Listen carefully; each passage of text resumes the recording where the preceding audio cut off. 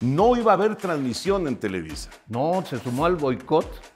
Se, Se sumó sumó al al boicot. Don Emilio decidió sumarse al boicot que había decretado Estados Unidos contra la entonces Unión Soviética. Y me dice, te quiere ver Emilio. Tengo la voz así muy ronca. Te quiere ver Emilio. Permíteme, te lo voy a pasar. ¿Qué hice? ¿Qué rompí? Y tomo el teléfono y me dice, eh, quiero platicar contigo. El fondo era, hay que abrir Televisa, pero hay que hacerlo responsablemente, porque después de un control informativo como el que habíamos vivido por décadas, era muy peligroso de repente eh, una apertura que resultara brutal. Y la verdad es que sí fue muy álgido el momento de la guerra de las televisoras, porque sí había, este, estábamos dispuestos a todo. A mí don Emilio me dijo, porque yo estaba un poco desesperado de que siempre que se iba Jacobo ponían a suplir a otro, menos a mí. Hola, ¿cómo están? Qué gusto saludarlos. Acelera Williams, acabó. Amigos, bienvenidos todos con Toño y el día de hoy, caray, estamos muy, pero muy contentos. Un amigo con el que convivimos día a día, mañana a mañana durante años, pero años. Y tenemos un montón de anécdotas juntos eh, y de repente lo dejé de ver, pero qué padre que tengamos esta oportunidad de, de reencontrarnos y de platicar sobre todo. Guillermo Ortega está con nosotros. Memo, qué Querido gusto. Toño, Qué gusto, de verte. tenerte. Gracias además por convidarme a venir a charlar a tu Hombre, casa. no, no, no, al revés. Muchísimas gracias por estar aquí. Oye, Memo, eh, híjole, esa época del despertar, ¿cómo nos divertimos, verdad? Sí, nos divertimos mucho. Yo creo, echando la mirada atrás y la memoria atrás, que fue la época más feliz de mi vida profesional en Televisa. Qué momentos tan agradables.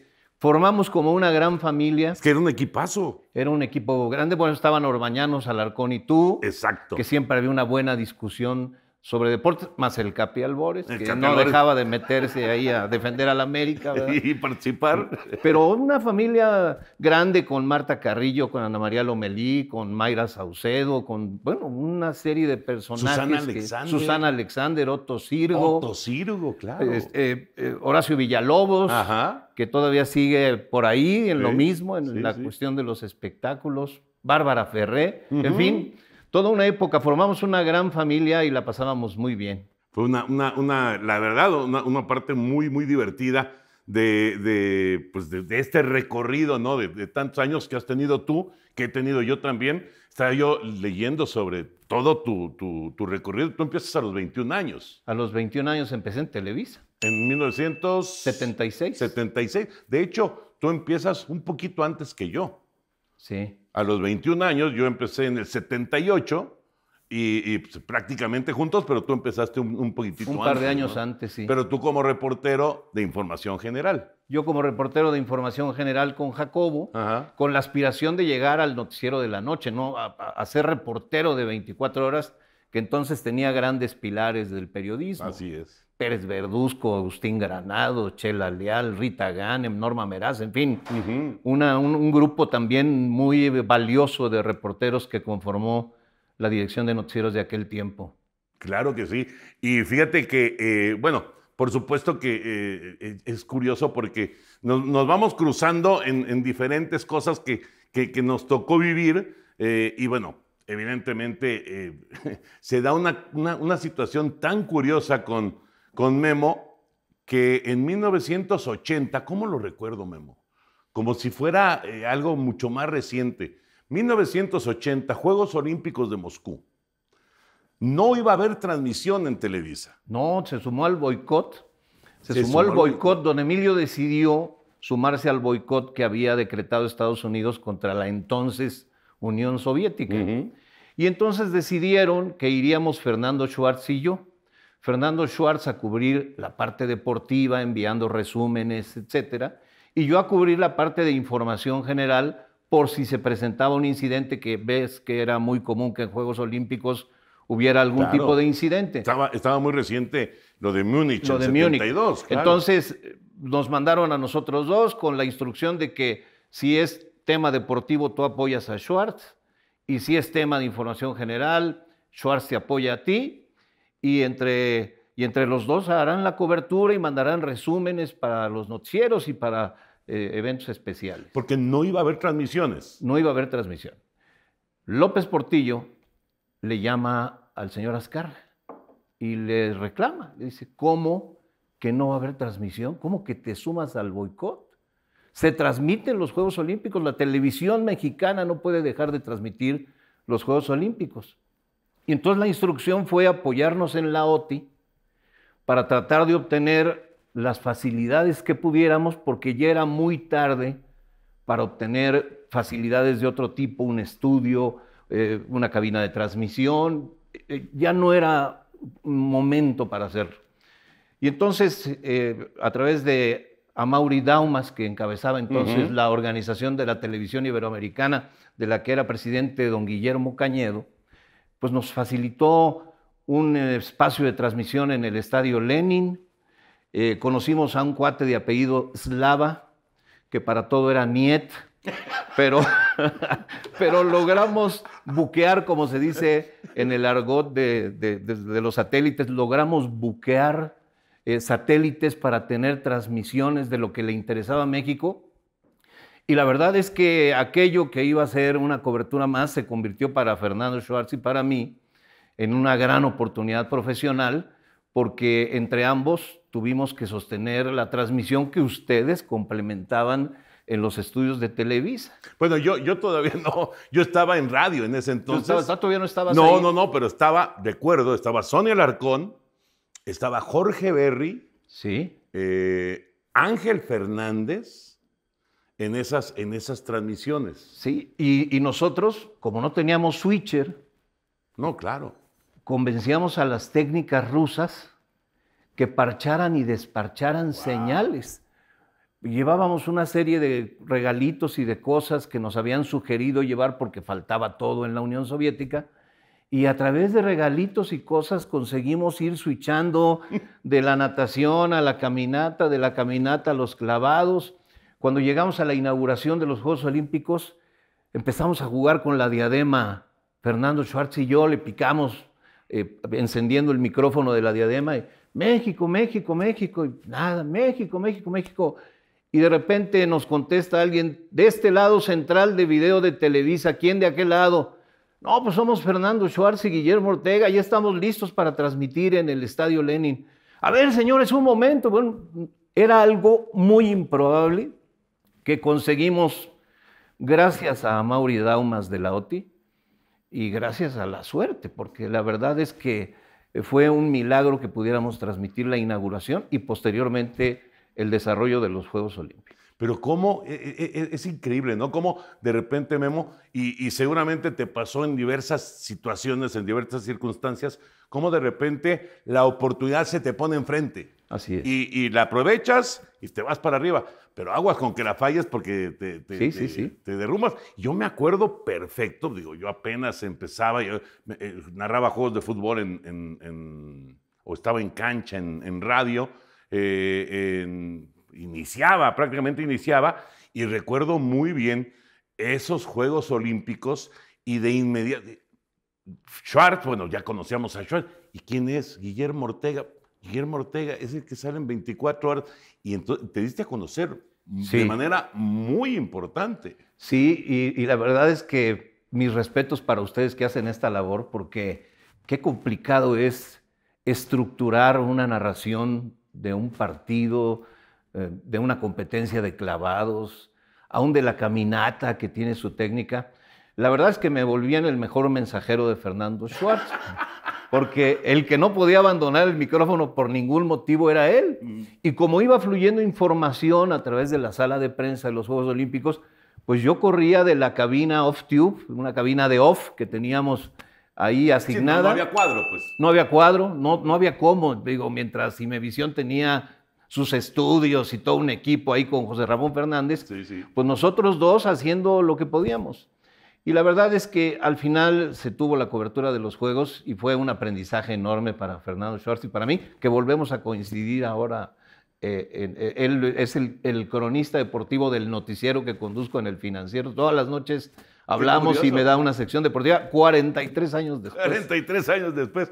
Oye, Memo, y además, mm, ¿qué, qué- qué internet y qué Twitter y Ah, qué claro, nada? ¿no? Eran boletines y estar cachando cosas, estar enterándote. No, mira, la verdad es que eh, hoy en día con un celular haces Sí, sí. una transmisión Exacto. completa. ¿no? Exactamente, es totalmente distinto. Googleas la información y vas obteniendo diferentes No, o te mandan- detalles. o te mandan, O te este, mandan el script, Sí, o, sí, en sí, lo que sea necesario. Es increíble, es increíble. Increíble. Y luego, fíjate, eh, también estaba yo recordando, fue- fueron 16 años después, en Atlanta, Ah, nos con en el Rebeca de Alba. 96, Sí, sí. transmitimos la inauguración de los Juegos Olímpicos. Rebeca de Alba, tú Ajá, y yo. Ajá, exactamente. Pues 16 años después. Con Pablo Cañedo como el, el- que era en ese momento el, el jefe, digamos, del área deportiva. del área de deportes. Sí, sí. Me acuerdo perfecto porque tú llegaste y, y- y- y, eh, nos, nos fuimos juntos al, al, eh, en un auto, nos fuimos juntos y, iba, iba Pablo, iba Rebeca también. Iba Rebeca de exactamente. Alba, sí. Eso fue 16 años después. En Atlanta, así es. Otra experiencia Otra experiencia olímpica. increíble, Sí. otra experiencia olímpica y, y también con sus asegúnes, como, como siempre pasa o casi siempre pasa en este tipo de eventos mundiales. ¿no? Sí. Oye, cuando viene el, el- el- bueno, cuando viene el, el momento de decidir eh, a, a qué te vas a dedicar, ¿por qué te dedicaste? ¿Tú por qué querías ser reportero y reportero de 24 horas? Fíjate que yo vengo de una familia de periodistas. Mi papá y mi tío editaban revistas. Eh, cuando ellos hicieron esto, pues prácticamente no había medios electrónicos, una incipiente radio que nació en el 30 y periódicos pues con la circulación que tenían entonces y ellos producían revistas semanales. Mi papá producía una revista de cine que se llamaba México Cinema, que a la postre creó Las Diosas de Plata Mira. y fue una creación de mi papá apoyado por pues, la gente de la industria. Y mi tío producía una revista política que se llamaba Revista de América. Mi tío fue un hombre prominente, don Gregorio Ortega, eh, conoció prácticamente a todos los presidentes de México mientras estuvo vivo, un periodista político muy respetado en el país. Y yo iba con mucha frecuencia a la redacción de la revista y me apasionaba observar aquello. Íbamos con frecuencia también a la imprenta, ¿no? que era un maquinón, aquella rotativa, imprimiendo, Sí. imprimiendo publicaciones diversas. Fíjate, era una época en la que imprimíamos un millón y medio de calimanes a la semana. Hoy ni el conjunto de las publicaciones imprime un millón y medio de nada. No, no, no, por supuesto. En aquel entonces así era, porque era el medio que circulaba mucho y que la gente buscaba en los puestos de periódicos, ¿no? Hubo muchas revistillas, no lo digo despectivamente, lo digo porque eran pequeñas, pero muchas revistas que circulaban y que la gente buscaba profusamente, este, como Memín Pinguín o todas aquellas historias que escribió doña Yolanda Vargas Dulce, Así es. eh, y que... y el, que- el Calimán era famoso. el Calimán era famosísimo, lo, lo producía una empresa que se llamaba Promotora K y lo imprimía la imprenta de mi primo y la verdad le dio dinero para el resto de su vida. Y no- yo, mi papá no le gustaba que nos quedáramos en la casa de vagos, decía él, y entonces siempre en vacaciones nos llevaba a la redacción. Y a mí me gustaba mucho ir y me gustaba reunirme con los periodistas, con los articulistas. Conocí a Renato Leduc, ahí conocí a don José C. Valadez y a Diego Valadez, don José padre de Diego. Gente muy talentosa que escribía en la revista artículos semanales. Y, y a mí me apasionaba el periodismo. Conocí a Carlos Ferreira, gran reportero de Excelsior, a Belardo Martín, otro gran reportero. Yo decía, yo quiero ser como ellos. Y siempre desde niño yo dije que yo quería ser periodista como mi papá. Y por eso me, me dediqué a- a- al periodismo. Estudié la carrera en la Escuela Carlos Septién, Ujú. que es una escuela donde se aprende periodismo. Y luego a la hora de tomar decisiones, viniendo de una familia donde mi padre y mi tío habían sido muy exitosos en la prensa, y- en la prensa impresa, yo dije, pues me voy a dedicar lo mismo. Cualquier cosa que haga van a decir que se lo debo a, a- a ellos, ¿no? Van Que- a comparar. este, o van a comparar. Y entonces yo siempre pensé en la televisión y le tenía una gran admiración a Jacobo. Y mi sueño era entrar a, a trabajar a 24 horas. Y eh, a través de mi tío conseguí ver a Jacobo. Me acuerdo que ese día que llegué, eh, un 16 de junio del 76, me dijo, ¿con qué quieres trabajar aquí, viejito? Y le dije, sí, licenciado. A ver, ven. Subimos aquella escalera que llevaba a la segunda planta del, del cuarto piso, donde estaban los noticieros en Niños Héroes 27, y me presentó con Raúl Hernández, el jefe de información de los noticieros, un hombre muy conocido y reconocido en aquel tiempo, temido también, por cierto. Y le dijo, Raúl, este niño viene de, una buen, de un buen tronco, a ver cómo sale la rama. Y volteó, me vio y me dijo, ahora depende de ti y de él. Quédate a trabajar ya, hoy es tu primer día. Y me acuerdo que me quedé ahí y me dijo Raúl Hernández, ¿qué hace ahí parado? Cheque cómo está el estado de salud del embajador de Estados Unidos, que tenemos noticia que lo internaron en el hospital inglés. Y hágame un reporte. Entonces, chequé, me hice pasar por un familiar, en fin, como pude, obtuve unos datos, escribí una notita. Joseph John Jova se, se llamaba el embajador de aquel tiempo. Este, la llevé en aquel formato que le llamábamos ditos, que era una especie de stencil en el que escribíamos la información. Se lo llevé a Raúl Hernández y me dijo, tírela. Y la tiré a la basura. La expresión tírela era sacarle copias. Y, y yo la tiré a la basura y dije, pues va a estar muy mal, ¿no? Y me dijo, ¿qué le pasa? Vaya a tirarla, a sacarle copias y póngala en cada una de las canastillas había unas canastillas que decían el nombre de cada noticiero, y ahí se ponían las notas, todo era en papel, juntábamos un tambache de notas y de ahí a los jefes de redacción a escoger aquellas notas que iban a, a, este, a ponerse en los noticieros. Toda una etapa muy bonita, de Muy mucho padre. aprendizaje. Ahí ponían las notas y ponían los cables también. Los cables. Sí, sí, sí. Porque teníamos ahí los teletipos Ajá. sonando todo el tiempo Ajá. de las principales agencias, ¿no? Y había cablistas, que así se llamaban los compañeros, que cortaban los cables, seleccionaban lo que ellos consideraban que eran notas importantes y hacían cortes cada hora o dos horas. Y te dejaban un tambache de cables a cada noticiero para que de ahí cada jefe de redacción escogiera las noticias que quería integrar al noticiero. Apasionante. Increíble. Los ditos, los famosos ditos, era, eh, eh, servían, porque ahí escribías a máquina, obviamente, pero cuando le quitabas el... el- el- Una especie de papel carbón, vamos. Ajá, exactamente, ahí podías sacar las En un stencil, ¿no? Sí. Bueno, pues ese fue mi debut con Raúl Hernández. Y luego al final me quedé 24 años en Televisa, los primeros cinco o seis como reportero. Eh, a, a propósito de, de la eh, relevancia de la cobertura de los Juegos de Moscú, eh, el Güero Díez Barroso me, me- me acercó a él y al poco tiempo, ya en 1981, tenía yo mi primer noticiero, en contacto directo Nuevo Día se llamaba. Ahí estaba Gustavo Calderón Millán conmigo. Claro, claro. Querido Gustavo, hijo del conde Calderón, amigos muy queridos los dos, afectados en el 85 con el terremoto. Gerardo Peña estuvo muchos años conmigo también ahí. Y de ahí me encaminé ya en la, en la conducción de noticieros hasta llegar a- al de la noche. ¿no? Fíjate que eh, eh, ahorita me estoy acordando, Memo, a mí me tocó, por circunstancias, eh, tu debut. Tu debut eh, era tu primer programa. Eh, fíjate qué increíble, ¿no? Ahorita, ahorita lo estoy recordando, estaba esta muchacha eh, acompañándote, una, una güerita. Mira, en los primeros años eran María Victoria Llamas Sí, no, no. y Manola Saavedra. No, no. Y pero después llegó Lidia Rico. Lidia Rico. Lidia Rico. Lidia Rico, exactamente. Pero por algún motivo, la primera, la primera vez que salió ese, ese programa, o a lo mejor fue. eh, En la segunda ronda de Contacto ronda. Directo, que fue muy rápida, ¿eh? Sí. Estuve muy poco tiempo con María Victoria Llamas y Manola Saavedra. Porque ahí estaba Ricardo Rocha también. Yo heredé eso de Sí, Ricardo Rocha. Sí, sí, sí. Y Ricardo Rocha ya traía muchas producciones, eh, tenía de- detrás de la noticia, tenía eh, su programa, creó un equipo de producción y de periodistas muy amplio, de articulistas, de analistas, y ya estaba muy metido en eso. Y entonces el güero Díez Barroso me asignó el noticiero de medianoche.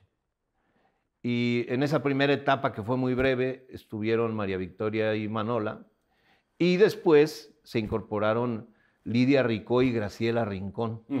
Exactamente. Exactamente. Y, mencionaste eh, la, gente que estuvo contigo de, de deportes, que lo de, lo de eh, Gustavo eh, fue, fue breve, si no me equivoco. Fue breve, sí. Fue breve. Pero luego Peña estuvo un buen rato contigo. Peña estuvo un buen rato conmigo. Y Javier Alarcón tomó el lugar de Peña después, cuando, Y- y- cuando Peña se fue. Y Javier Alarcón tomó el lugar de Peña. Estaba muy chavo, Javier, cuando sí, llegó. Sí. Yo fui su primer jefe ahí en Televisa, Sí, claro, por supuesto. en el área de noticias. Y ya de ahí nos seguimos. eh, en Al Despertar se integró esta, este, este equipo de tres que hacía unas discusiones muy buenas, ¿no? sobre todo los lunes después de un domingo deportivo divertidísimas. Sí. Eh, la verdad, muy amena la, la discusión de los deportes entre ustedes y se complementaba muy bien las personalidades de cada uno. Sí. Y también el expertise de cada uno en los diferentes deportes. en los diferentes deportes. Decía Raúl Orbañanos que él no podía con el horario. Sí, sí, sí, se quejó siempre. Pero de todas maneras, la verdad es que fue, fue muy entretenido, muy, muy divertido. Y, y no sé si te acuerdas cómo se dio esa, esa circunstancia de, los, de, de que quedáramos los tres. Pero fue una vez que yo te fui a buscar, Sí, sí, sí, porque fue la salida de Ochoa, sí. fue la salida de Memo Ochoa. Y entonces, al despertar que ya existía, o, o- o tú estabas en ECO, Fíjate que cuando sale Guillermo, coincidió con la- el lanzamiento de ECO y lo que hizo el señor Azcárraga fue ponernos a Rocha y a mí, a mí de 7 a 8 y a Rocha de 8 a 9. sí es cierto, exactamente. y se llamaba primero Eco y luego convencimos al señor Azcárraga que le pudiéramos poner otro nombre y entonces yo le puse al despertar que duraba una hora Y Ricardo al aire. Ricardo le puso al aire Sí, que duraba sí. otra hora Y yo estaba con Ricardo. y tú estabas con Ricardo. Sí, sí, sí. Al paso del tiempo le sugerí a don Emilio y a regañadientes primero pero convencido después eh, autorizó que creciéramos al despertar. Compramos el helicóptero, se incorporó Rolando Medina. Claro. Y ya con el crecimiento de al despertar a tres horas, que luego fueron cuatro, empezábamos de 7 a 10, Ujú. y luego fue de 6 a 10. Ya con la incorporación de Rolando empezamos a volar el helicóptero, Lalo Salazar iba en la moto, Sí. hacíamos coberturas que nos permitían ser muy competitivos, sobre todo con la radio que conducía Gutiérrez Vivo. Y luego le dimos a, a- a la audiencia mexicana eh, la posibilidad de, como ocurrió en el tiempo de Ochoa, ¿eh? no había que inventar el hilo negro. Lourdes Guerrero, Juan Dosal, Juan Carlos Iracheta, el propio Guillermo Ochoa, luego Murrieta, eran como una familia para la familia. Sí, Y nosotros replicamos eso nada más que con una familia un poco más abundante. sí. Replicamos una buena sección deportiva, con una buena discusión de, de los temas deportivos. El, el Capi, que se metía siempre, le ponía sabor al caldo. Eh, luego pusimos los jueguitos aquellos con los que despedíamos el programa, ¿te acuerdas? claro. Eh, futbolito, o metíamos este del disco. Alguna vez hasta, este, como, como traía Televisa a la Plaza México, hasta una corridita hicimos, ¿te acuerdas? Sí, sí. Una En tienda un- ahí en de una- En un aniversario. Sí, sí, sí, en un aniversario, Ajá. exactamente. Entonces ya se integró más gente a esa familia haciendo diversidad de actividades, cada una que le hacía sentido al público. Y, era una fórmula exitosa porque el público tenía identidad, si no con todos, con alguno o con algunos, y eso pues, también le dio una audiencia increíble al despertar, que luego nos llevamos a la radio, ¿eh? porque replicamos un programa incluso más largo eh, en, en la radio cuando se fundó Reporte 98.5 y con muchos de esos personajes que habíamos estado, eh, replicamos esta idea de hablarle a la familia y nos fue muy bien en radio también. Es un buen concepto. Muy bueno. muy y nos bueno. divertíamos muchísimo. además. Muchísimo. La verdad, muchísimo. Eh, eh, Es, es, este, es padrísimo ir a, a- a chambear, pero ir a divertirte, ¿no? Sí, es, sí, es sí. muy padre. Ahí vivimos algunos de los momentos más felices y también algunos de los más infelices cuando se murió Rolando, por ejemplo. Sí, el ¿Te momento de Rolando un fue momento horrible. Terriblemente triste, ¿no? El Tan accidente, inesperado, tan joven. man. el accidente en la calle Monterrey, ¿no? Fue en Viaducto y Monterrey Sí. persiguiendo la nota. Oyó en la radio de la policía que había unos cuates que estaban fugando y fue a encontrarse con ellos y se lo llevaron de corbata. Híjole.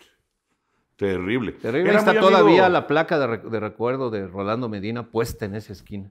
Ahí en, en Vi- en Viaducto y Monterrey. En Viaducto y Era muy amigo de, de Gloria, mi esposa. Sí, sí. Muy amigo. Tipazo, mano. Sí. Para mí era como un hermano chiquito. Fue Sí. una tristeza enorme. La verdad, sí. Y, y- y, por cierto, Lalo Salazar hereda, por- lamentablemente por, por esta situación, pero él hereda el helicóptero. Y, y lo hace extraordinariamente bien. Era muy difícil, ¿eh? porque eh, Rolando Medina tenía mucho carisma Mucho. y mucho jalón con la gente. Yo Sí. recuerdo que el funeral de Rolando no, fue el de una gran figura. ¿eh? Impresionante. Eh, pues impresionante. ahí estuvimos. Sí. El de una gran figura se llenó de gente porque la gente se identificaba con él, lo veía como un Robin Hood. Y para Lalo Salazar era un desafío grande y la verdad es que lo hizo y lo ha hecho siempre muy bien. Sí, sí, sí, sí. Eh, te iba yo a preguntar cómo, cómo se da el- la transformación de- de- de- del noticiero de la mañana al de la noche, pero antes de eso, te quería yo preguntar, Memo, ¿por qué tuviste este acercamiento tan eh, fuerte con, con Emilio Azcárraga? ¿Qué pasó? ¿Cómo, cómo se dio? Fíjate Porque que tú tenías, tu oficina estaba pegada a la de Emilio. pasó una cosa curiosa. Eh, había unos comités editoriales que se llevaban a cabo cada semana y que presidía don Emilio. Y acudíamos todos los involucrados en noticieros, quiero decir las cabezas de los noticieros o de los cargos ejecutivos en los noticieros. Y venía la sucesión de de, de la Madrid, eh, sucesión que recayó en Carlos Salinas, pero en aquel momento no lo sabíamos. Entonces creó aquella historia de los seis distinguidos periodistas, que era como una especie de predestape, en la que había diversos personajes, del Mazo, Barle, del propio Salinas, etc. Y bueno, en, en los noticieros había simpatías hacia alguno de los candidatos. Este, no voy a decir los nombres porque no viene al caso, pero algunos simpatizaban más con Salinas, otro con González Avelar, otro con Barlet, aunque usted no lo crea. Este, en fin, había simpatías y en la medida de las simpatías, pues se cargaban un poquito más los dados en la información de esos noticieros hacia una figura o hacia otra. Cuento todo esto para llegar a, a- a responder tu pregunta. Un día en esos, uno de esos consejos editoriales, don Emilio Azcárraga dice, señores, pues ya viene el tiempo del destape y nosotros no sabemos quién va a ser el candidato, pero nosotros ya tenemos a un candidato que va a hacer toda la cobertura de la campaña, sea quien sea el candidato. Y entonces, bueno, para empezar, vamos a estar pendientes del destape y vamos a formar parejas de guardia para que estén pendientes de la información. Y entonces formaron parejas, a mí me tocó con Abraham. Y de entonces a la fecha, cuando nos encontramos, ¿qué pareja? ¿Cómo estás como policías, no? ¿Qué pasó pareja? ¿Cómo está pareja? Bien pareja. ¿Qué novedades hay pareja? Sin parte de novedad, ¿no? Así. Este, eso se formó para cubrir y estar atentos a la información. Y don Emilio dijo, nosotros ya tenemos a la persona. Y antes de dar el nombre, voy a decir por qué elegimos a esa persona. Porque la mayoría de ustedes ya tienen los dados cargados a su favorito, que no necesariamente es el favorito de Televisa. Cada uno de ustedes tiene su favorito. Y la persona que se va a hacer cargo de la campaña es el único que no. Saca información equilibrada, no expresa simpatías o antipatías. Y esa persona es Guillermo Ortega. Yo me fui para atrás, pues, no, no lo esperaba yo. Me había incorporado al noticiero hoy mismo con Lourdes Guerrero. Eh, eso me había dado un salto al Canal 2, me daba más visibilidad. Y bueno, me, me nombran eso y me mueven todo el esquema, te mueve todo el esquema porque eran campañas muy largas y prácticamente regresabas a México a cambiar de maleta, hacer algún especial de la campaña y otra vez a, la campaña, ¿no? Entonces, bueno, resulta electo Salinas, eh, se vuelve el candidato, a mí me comisionan, don Emilio les dice a todos, eso no, no quiere decir que no puedan ir en algún momento los demás, nosotros mismos iremos en algún momento, pero Ortega va a estar permanentemente representando a Televisa. Entonces, cuando destapan a Salinas, nos vamos al PRI, le saluda a Salinas y le dice, este es, es tu hombre en la campaña. Salinas hace llamar a Otto Granados y me dice, este es tu hombre en la campaña. Y entonces empieza a dar una cobertura de la campaña en aquel momento del candidato del PRI, que era el más viable ganador de la elección. Claro, claro. Es una historia distinta a la de hoy y a la de años recientes, pero entonces era así. Entonces se da la cobertura de la campaña, es compleja la cobertura de la campaña. Yo hice 64 programas de televisión con Salinas en todo el país, a, con- a teléfono abierto, con la gente cuestionando. Y después especiales de fin de semana, en los que me, apoyaba Juan Pablo Guerrero, el hijo de Lourdes, un muchacho muy talentoso. Y la verdad es que eso me dio mucha visibilidad con don Emilio. Don Emilio mismo vino un par de veces o tres a la campaña. En alguna de ellas hizo acompañar de los güeros, de Burillo y Díaz Barroso. Y eso me dio mucha visibilidad. Viene la elección, una elección competida, este, siempre hubo dudas si ganó o no Salinas, este, o si le robaron la elección a Cárdenas. Yo, tengo mi propio punto de vista porque lo vi muy cerca y yo creo que nadie se robó nada. Yo creo que por un estrecho margen, pero ganó Salinas la elección. Y llega la presidencia. Don Emilio se va a su barco. La elección fue en julio, se va a su barco, vuelve en septiembre. Y en septiembre me habla un día eh, doña Elisa, la secretaria de don Emilio, Elisita, y me dice, te quiere ver Emilio, tengo la voz así muy ronca, te quiere ver Emilio, permíteme, te lo voy a pasar. ¿Qué hice? ¿Qué rompí? y tomo el teléfono y me dice, "Eh, quiero platicar contigo, ¿dónde te conviene más, en San Ángel o en Chapultepec? No, donde usted ordene, vente a San Ángel. Pues dije, ¿qué habré roto, mano? Porque cuando te llaman no es para felicitarte, ¿no? Entonces fui a Televisa San Ángel y me encontré ahí con Rafael Recendis, que trabajaba cerca de don Emilio también, y me dijo, Elisita, espérate un momento, ahorita, ahorita pasas. Pasados unos minutos sale doña Silvia Pinal y me hacen entrar. Ahí me encuentro don Emilio en, en esa oficina de, un aroma agradable, tan singular que era la de San Ángel. Olía entre madera y el perfume o la loción que usaba don Emilio, pero era un, un olor gato. Me dice, siéntate. Sí, don Emilio, sus órdenes. Me dijo, a ver, el PRI ya nos demostró que después de muchos años de que sabía hacer las cosas, ya no sabe hacer las cosas. Lo que pasó en esta elección eh, llevó a un escenario en el que eh, la gente estuvo a punto de quitar al PRI. Y el PRI, que antes garantizaba estabilidad, crecimiento económico, desarrollo, ahora se le ha complicado el escenario. Y nosotros no podemos permitir que si la gente cambia al PRI, también cambie a Televisa. Entonces, nosotros hemos tenido siempre una política hasta ahora de apoyo al PRI, pero va a cambiar. Ahora tenemos que abrirnos, tenemos que escuchar a todos los actores políticos, tenemos que abrir la televisión a todos los actores políticos. Televisa tiene que cambiar o la van a cambiar. Y entonces, yo escuchando en este monólogo largo, fueron casi 45 minutos, una hora, él eh, reflexionando sobre lo que quería hacer en Televisa. Pero el, el fondo era, hay que abrir Televisa, pero hay que hacerlo responsablemente, porque después de un control informativo como el que habíamos vivido por décadas, era muy peligroso de repente eh, una apertura que resultara brutal, que generara más problemas que soluciones. Y entonces me dijo, te quiero invitar a trabajar conmigo en esto. Le dije, encantado, don Emilio, me, me resulta fascinante la idea. Me dijo, solo hay una condición. Te necesito 365 días al año, las 24 horas del día disponible. Y luego me dijo una cosa, no me importa si estás, ni me importa si estás, ni me importa si estás, ajá, estás disponible. Te hablo de, una tiempo, de un tiempo en que no había celulares. Sí, claro. Había beepers y los muy afortunados les ponían un teléfono en el coche. Bueno, me puso un teléfono en el coche, me puso un... Te voy a poner un fax, me dijo. Fíjate, era... Tener un fax era una cosa No, bueno. extraordinaria. Te voy a poner sí. un fax, te voy a poner lo que necesites, te necesito...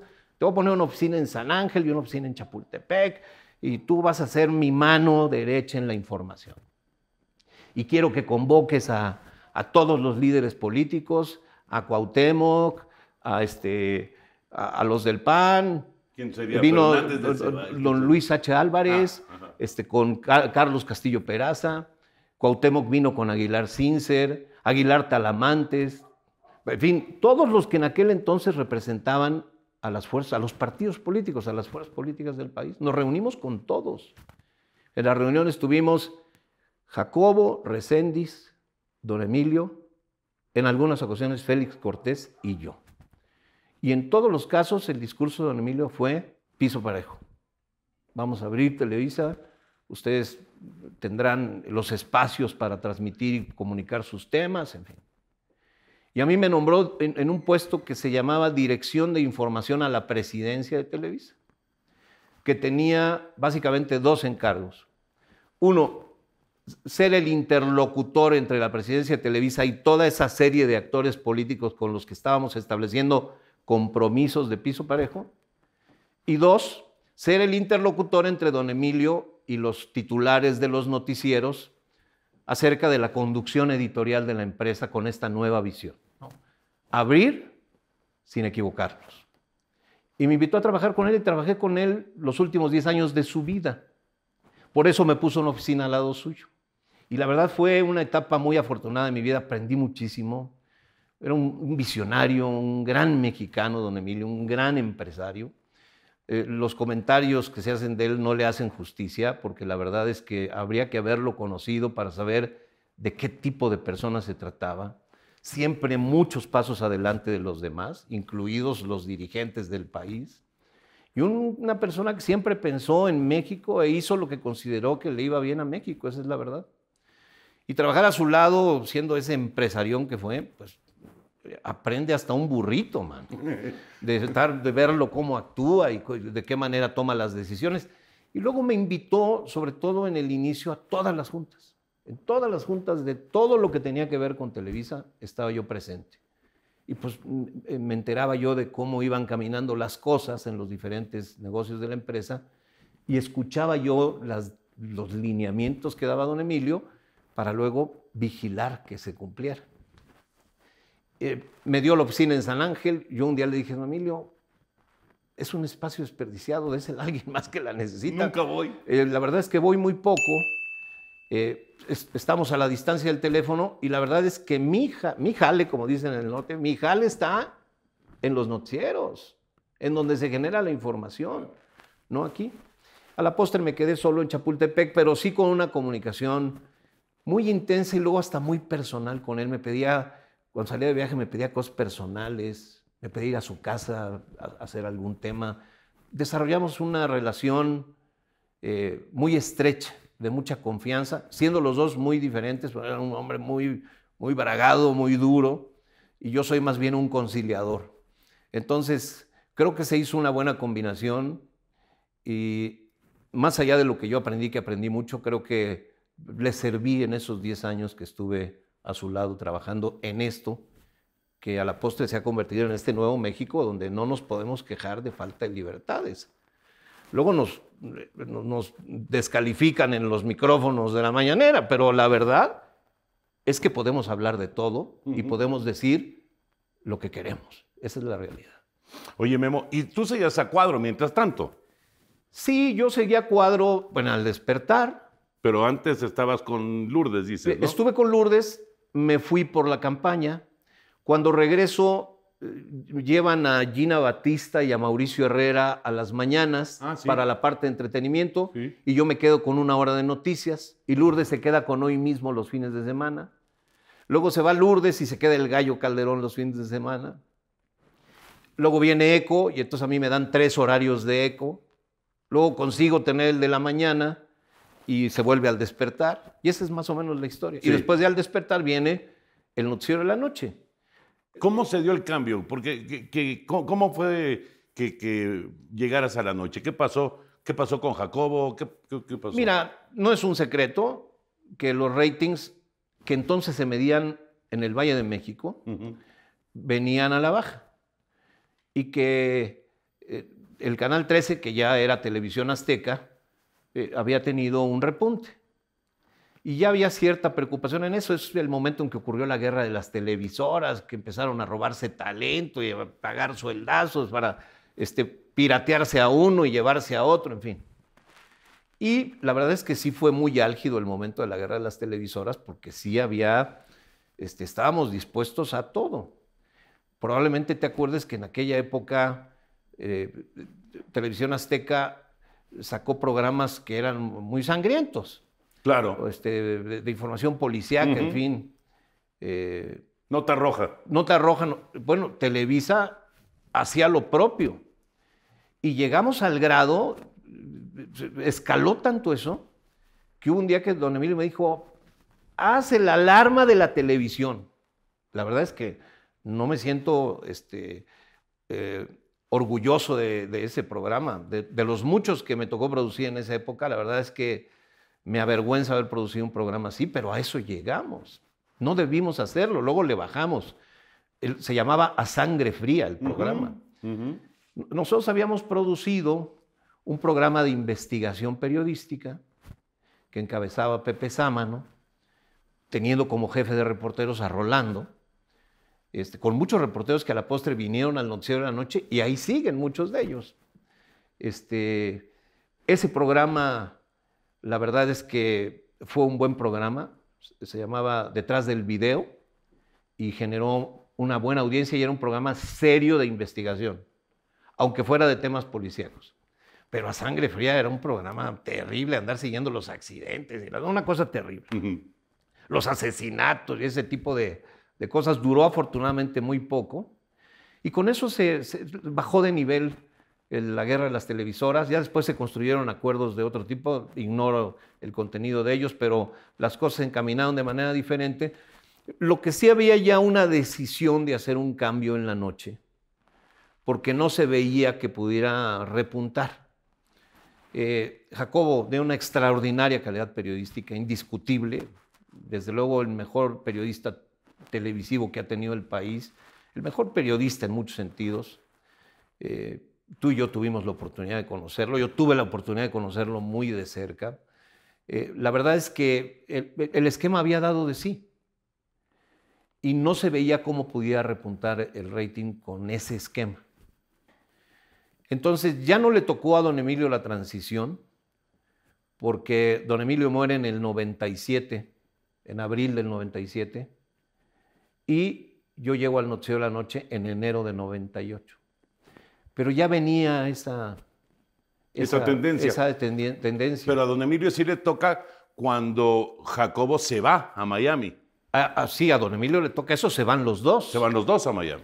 Y es O- cuando Ochoa. Ochoa entra a ser nuestro mundo. Exacto, yo estaba, yo estaba con en la él. noche tú estabas con él. Ajá. Y Ochoa era un periodista más para la mañana, Ujú. Como acabó ocurriendo. A la postre, Ochoa volvió a la mañana y. Jacobo volvió a la noche. Ese era el esquema ideal. A mí don Emilio me dijo, porque yo estaba un poco desesperado de que siempre que se iba Jacobo ponían a suplir a otro, menos a mí.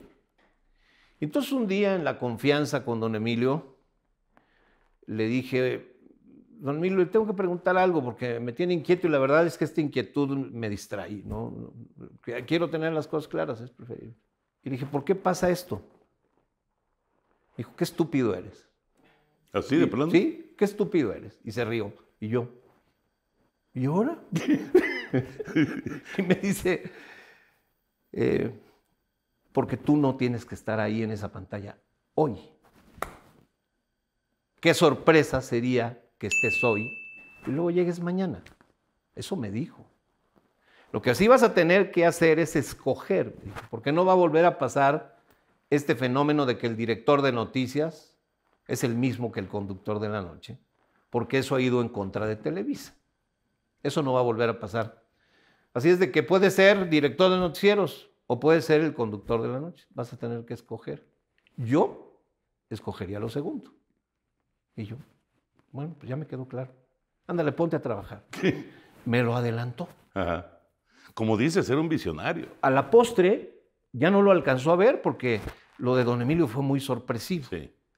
No el cáncer, ya había tenido algunas expresiones de cáncer, en otras partes del cuerpo, pero sí lo del tumor en, en el cerebral sí fue una sorpresa para todos. Además, el grado de evolución que ya tenía, que lo hacía inoperable y que hacía prever una vida ya muy corta para don Emilio, como ocurrió. Eh, y llegas a la noche. Y... Llegó a la noche, tuve oportunidad de platicar con Emilio Azcarra Gallán, siempre muy atento conmigo, muy amable, muy afectuoso. Yo le hice saber que estaba enterado por su papá de eso, pero también le hice saber que lo liberaba de cualquier compromiso, porque él estaba ahora con las riendas de la empresa y tenía derecho a poner al conductor de la noche que él quisiera, no necesariamente el que su papá avisora. Me dijo, pues no sabía que estuvieras enterado, pero te agradezco el gesto, así me dijo. Y a la postre me designan eh, conductor del noticiero de la noche. Hay una transformación en los noticieros de Televisa. Es- empiezan a llamarse el noticiero con, el noticiero con el nombre de cada conductor. Este, y hay una revolución. ¿Te acordás que hubo una conferencia de prensa que encabezó Cortés Camarillo con los conductores diciendo quién se iba a hacer cargo de qué? Y ahí se anunció que iría yo al noticiero de la noche, al que me- en el que me acompañó Javier Alarcón. Sí. también. Así se dio el salto. Y duré dos años, y dos años complicadísimos, mano. Es que el noticiero de la noche, en esos tiempos de cambio, con una nueva generación llegando a Televisa, una nueva dirigencia, con una visión eh, distinta, y al mismo tiempo lo que está ocurriendo en el gobierno con la alternancia por primera vez en el poder, con la llegada de Fox, este, pues, gener- generaba eh, sus dificultades. Y la verdad es que yo, yo tomé la decisión de irme y creo que hice bien. Ya era un momento para, para emigrar y, y dejar en libertad que quienes llegaron pudieran tomar las decisiones que consideraran más convenientes. Llegó, eh, eh, recuerdo porque Javier estuvo contigo, pero curiosamente, Javier, cuando tú empezaste, no estaba en México, y entonces a mí me tocó hacer el primer noticiero de la sí, noche. Sí, sí, lo recuerdo perfectamente. Y, y estábamos en tu oficina y estaba, fíjate, ¿eh? estaba Cortés Camarillo, Federico Wilkins, Sí. estabas tú y estaba yo. A Federico lo nombraron eh, productor. Productor, exactamente. Y entonces, y, y- y recuerdo que inclusive hubo pues ahí eh, eh, alguna eh, discrepancia entre Federico y lo que quería y cómo quería perfilar las noticias y lo que pensaba este Cortés Camarillo y lo que pensabas tú, ¿no? Sí. Y fue, fue, fue, fue- la verdad para mí fue un aprendizaje increíble de- de- en, en un día, ¿eh? En un día, porque, porque Javier regresó y ya estuvo contigo en, en la noche, pero dije, caray, este eh, sí es, sí es una cosa totalmente distinta a, la- a lo relajado, entre comillas, de las mañanas, ¿no? Sí, Que no, yo, no, no. Que yo he, yo he trans- transcurrido en las mañanas durante Sí, años, sí, sí, ¿no? sí. Yo por eso te digo que disfruté muchísimo lo de Al Despertar, porque fueron ocho años y esos ocho años fueron fantásticos, la verdad. Eh, la noche ya tiene sus asegúnes. Y luego había la llegada de estos productores que habían, eh, este, Alexis Núñez y, y Federico Wilkins, que habían sido exitosos en sus formatos en televisión azteca. Eh, Los recluta Televisa y los pone a hacer diferentes chambas, pero a Wilkins le pone el noticiero de la noche. Y costó trabajo llegar a un entendimiento. Llegamos a un entendimiento porque Wilkins traía cosas valiosas que había que incorporar. Es justamente el cambio de formato al que me refiero Sí. que teníamos que llegar. Romper un poco ese esquema eh, que venía muy rígido, si quieres llamarle así. ¿Qué era el O- estilo de Jacobo? ¿Qué era el estilo de Jacobo? ¿Qué era el estilo de las noticias Sí. en, los, en aquellos años? ¿no? Y romperlo por un esquema más atractivo, más llegador hacia el público, fijándonos más en la voz del público que en la voz del político, dándole voz a la gente en las historias. ¿no? La verdad es que fue muy, muy valioso todo aquello para poder construir una emisión que fue exitosísima. El noticiero de la noche en ese tiempo llegó a ratings por encima de 20 inesperados. Hubo días en que empezamos a vender con este, eh, una especie de teaser en las dos horas previas al noticiero con cosas muy atractivas Y pues, a- íbamos acarreando la audiencia, que venía muy bien con las telenovelas, para llegar al noticiero de la noche. Un día de 26 puntos de rating. una locura. Impensable Sí, sí, para sí. un noticiero. Sí. Entonces la verdad es que nos fue muy bien y sí le dimos la vuelta al marcador con Televisión Azteca. Fue afortunado hacerlo así. Y a mí me tocó dos años, la verdad, fueron intensos, fueron muy buenos. Yo me siento muy afortunado de haber llegado a ese espacio al que pues llega, es la punta de la pirámide, Totalmente. ya llega a uno. ¿no? Totalmente. Estuvo Jacobo Años, luego llegué yo y luego Joaquín. ¿no? Sí. Y, y- y bueno, ahora volvemos a lo mismo. Un- Una persona, Denise o qui- quien sea ahora, pues es quien llega a la conducción. Entonces, de tal manera que Sí, es- pero en, en cuántas décadas Sí, sí. hablaste de cuántas personas, ¿no? Y, digo, ahorita está Enrique, pero... eh, pues 50 años o más de 50 años. son cinco, una, dos, tres, cinco personas. Así es. Es, es- El más largo de los cuales fue Jacobo. 30 Exacto. años, casi 30 años, Sí. Jacobo. bueno, seis personas si ponemos a, a Memo Ochoa que estuvo un ratito. ¿no? Que estuvo un ratito. Sí. Pero bueno, así, así fue la historia. No, no dejo de, de sentirme muy halagado de haber llegado a ese lugar y de haber sido útil los dos Pero ¿por años qué te que fuiste? No, entiendo. O sea, realmente estuviste poco tiempo en la noche. Mira, dos años. Mm, hubo un, un distanciamiento con uno de los nuevos directivos, no con Emilio. Eh, y en el afán de eh, fundar esta nueva dirección en la empresa, hacían cosas rudas innecesarias, groserías. Y a mí me enseñaron en mi casa a comer de todo excepto una cosa. Y no iba yo a comerla por primera vez, man. Huele feo eso. Sí. Entonces dije, no, yo no voy a comer mierda. A ver, para decirlo claramente. ¿no? Entonces vi que tenía yo dos, de- deci- dos posibles decisiones. O tragarme un plato o varios al día de eso, o irme. Y decidí irme. Y la verdad, no sentí que fuera yo a tener el apoyo para eh, cumplir las cosas en los términos que tenían que cumplirse. Entonces dije, va a ser un jaloneo que nos va a dañar como empresa y como individuos a los involucrados. Mejor aquí le paramos.